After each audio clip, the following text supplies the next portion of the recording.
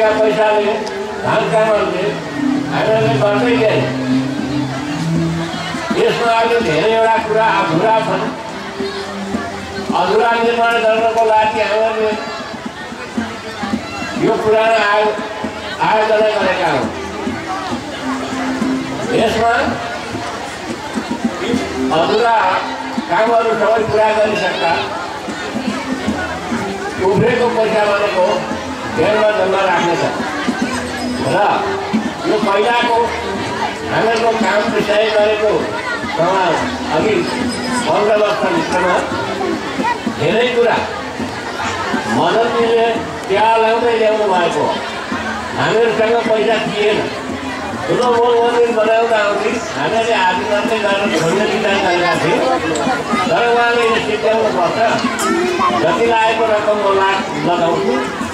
पछाडि गएर असुल गर्दै जाउँला भन्ने भन्नुभएको हुनाले हामीले निर्माण पुरा गर्न र हाम्रो यस्तै यस्तै गर्न चल्दै गएको छ अब यहाँदेखि उता भनेको के कस्तो हुँदै जान्छ हामीहरूले राम्रोसँग सम्हाल्ने नै विचार गरेका छौँ शान्त सभामा बसिदिनु सबैजना यस सबैको आशीर्वादले गर्दा हामीहरूले यो काम गर्न सकेका हौँ नभए हामीसँग पैसा रुपियाँ रुपी पुँजी केही पनि नभएको ठाउँहरू यो सबैको सहयोगले यो भएको हो र सबैको पहलले भएको हो सबैले आस्था राखेर भएको हो।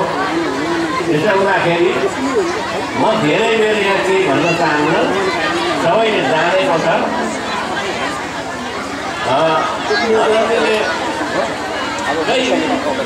अर्काबाट दुईवटा मन्दिरहरू तयार गरिदिनु भएको छ।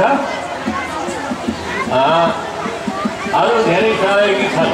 अब यहाँ भन्दै गर्दा धेरै समय लाग्छ। म यतिमै सबैलाई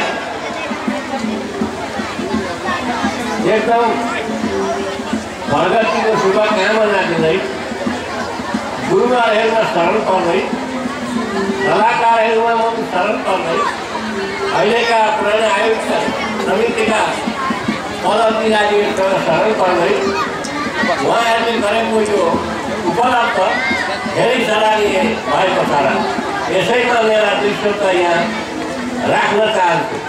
धन्यवाद। भगवानको। कृष्णचन्द्र भगवानको। सज्जन अब हामी राष्ट्रले उत्प्रोत भएको त्यो राष्ट्रिय गीत श्रवण गरौँ राष्ट्रिय भजन श्रवण गरौँ। आदरणीय हाम्रा कलाकार मित्र महोदय हुनुहुन्छ हरि उप्रेती जो गोदाबारीबाट र उहाँलाई छिटोभन्दा छिटो